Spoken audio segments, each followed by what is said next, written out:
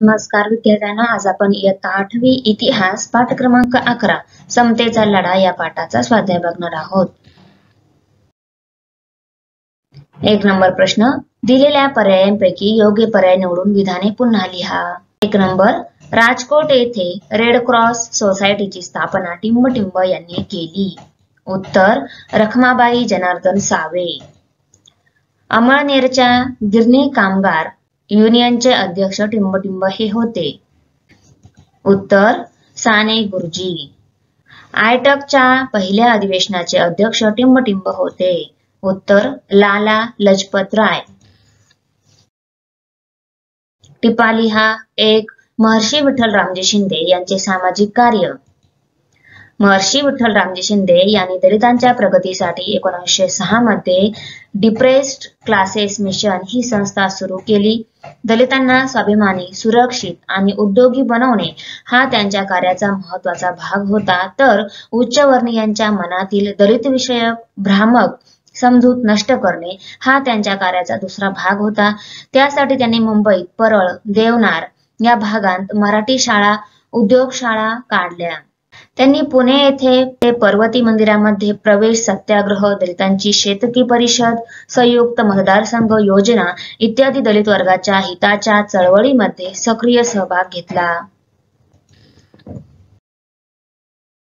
प्रश्न दोन. राजर्षी शाहू महाराजांनी कोल्हापूर संस्थानात केलेल्या सुधारणा. उत्तर राजर्षी शाहू महाराजांनी कोल्हापूर संस्थानात आरक्षणाच्या क्रांतिकारी जाहीरनामा काढला. मोफत व सक्तीच्या प्राथमिक शिक्षणाचा कायदा केला. सभा परिषदांमधून दलित लोकांच्या हातचे अन्न घेऊन शाहू महाराजांनी रोटी बंद जाहीरपणे धुडकावून लावली. त्यांनी त्यांच्या संस्थानात आंतरजातीय विवाहास कायदेशीर मान्यता देणारा कायदा मंजूर केला. त्यांच्या संस्थानात बावीस फेब्रुवारी एकोणीसशे अठरा रोजी कोल्हापूर सरकारच्या गॅजेटमध्ये जाहीरनामा प्रसिद्ध करून संस्थानातील बलुतेदारी पद्धती नष्ट केली. त्यामुळे कोणताही व्यवसाय कोणालाही करण्याची परवानगी मिळाली. प्रश्न क्रमांक तीन पुढील विधाने सहकारण स्पष्ट करा. त्यामध्ये एक नंबर सरकारने साम्यवादी चळवळ चिरडण्याचे ठरवले. उत्तर आर्थिक व सामाजिक समतेच्या तत्वावर समाजाची फेररचना झाली पाहिजे असे साम्यवादी नेत्यांचे मत होते. कामगारांच्या या शेतकऱ्यांच्या लढाऊ संघटना उभारण्याचे कार्य साम्यवादी तरुणांनी या काळात केले. साम्यवादी चळवळीचा वाढता प्रभाव सरकारला धोकादायक वाटू लागला त्यामुळे सरकारने साम्यवादी चळवळ चिरडण्याचे ठरवले. दोन नंबर प्रश्न डॉक्टर बाबासाहेब आंबेडकरांनी मूकनायक बहिष्कृत भारत यांसारखी वृत्तपत्रे सुरू केली.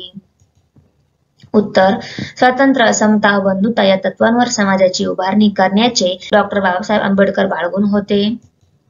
सामाजिक समता आणि स्वाभिमानावर आधारलेली चळवळ त्यांना करायची होती. त्या दृष्टीने समाजात जागृती घडवून आणणे आवश्यक होते. दलितांच्या दुःखांना वाचा फोडायची होती. आपले हे विचार समाजापर्यंत पोहोचवण्यासाठी डॉक्टर बाबासाहेब आंबेडकर यांनी मूकनायक बहिष्कृत भारत यांसारखी वृत्तपत्रे सुरू केली.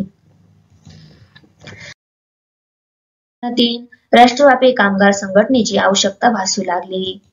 उत्तर आसाममध्ये चहाच्या मळ्यातील कामगारांच्या दारुण अवस्थेविरुद्ध आंदोलन करण्यात आले. अठराशे नव्याण्णवमध्ये ग्रेट इंडियन पेनी न्यूलर रेल्वेच्या कामगारांनी आपल्या मागण्यांसाठी संप पुकारला. वंगभंग आंदोलनाच्या काळात स्वदेशीला पाठिंबा देण्यासाठी कामगारांनी वेळोवेळी संप केले. पहिल्या महायुद्धानंतर भारतात औद्योगिकरणामुळे कामगार वर्गाची वाढ झाली. त्यामुळे राष्ट्रव्यापी व्यापार कामगार संघटनेची आवश्यकता भासू लागली. प्रश्न क्रमांक चार पुढील प्रश्नांची थोडक्यात उत्तरे लिहा. त्यामधील एक नंबर आधुनिक भारताच्या जडणघडणीत समतेचा लढा महत्त्वाचा का ठरतो?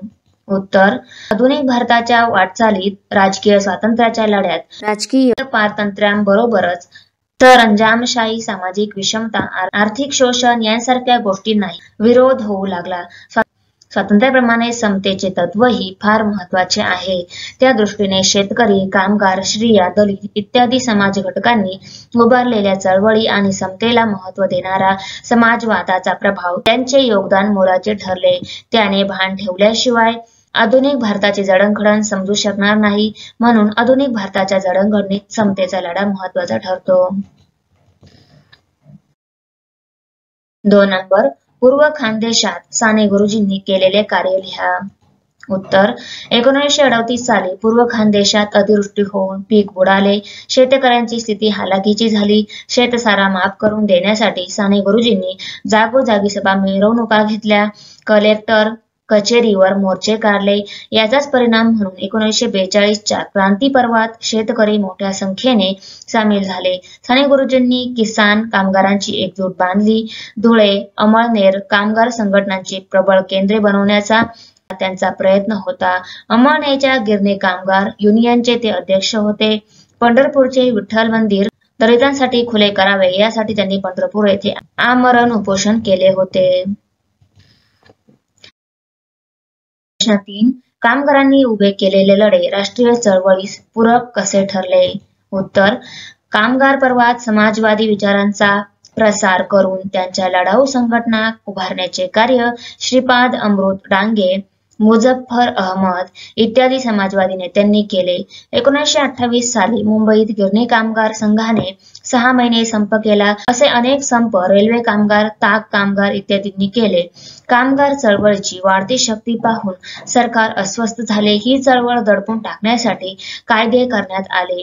अशा प्रकारे कामगारांचे लढे राष्ट्रीय चळवळीस पूरक ठरले. जनसामान्यांच्या हितरक्षणासाठी ब्रिटिश सरकार उलटून टाकणे आवश्यक आहे असे राष्ट्रीय सभेतील अनेक तरुण कार्यकर्त्यांना वाटू लागले. त्याचप्रमाणे आर्थिक व सामाजिक समतेच्या तत्वावर समाजाची फेररचना झाली पाहिजे याची जाणीव होऊ लागली. या जाणीवेतून समाजवादी विचारसरणीचा उदय आणि विकास झाला. प्रश्न चार स्त्री विषयक सुधारणा चळवळीची स्वरूप स्पष्ट करा. उत्तर भारतातील समाज व्यवस्थेत स्त्रियांना दुय्यम स्थान होते. अनेक दृष्ट चालीरीतीमुळे त्यांच्यावर अन्याय होत असे. परंतु आधुनिक युगात या विरुद्ध जागृती होऊ लागली. स्त्रीविषयक विषयक सुधारणा चळवळीत काही पुरुषकारांनी पुढाकार घेतला. काळाच्या ओघात स्त्रियांचे नेतृत्व पुढे येऊ लागले. त्यांच्या स्वातंत्र्य संस्था संघटनाही स्थापन होऊ लागल्या. पंडिता रमाबाई रमाबाई रानडे डॉक्टर रखमाबाई जनार्दन सावे यांनी काही संघटना स्थापन केल्या. वारसा हक्क मतदानाचा हक्क इत्यादी प्रश्नाबाबत या संघटनांच्या माध्यमातून स्त्रिया चळवळ करू लागल्या. प्रांतिक मंत्रिमंडळामध्ये स्त्रियांचा समावेश झाला. स्वतंत्र प्राप्तीनंतर स्वतंत्र प्राप्तीनंतर भारतीय संविधानात स्त्री पुरुष समतेचे तत्व स्पष्टपणे नमूद करण्यात आले.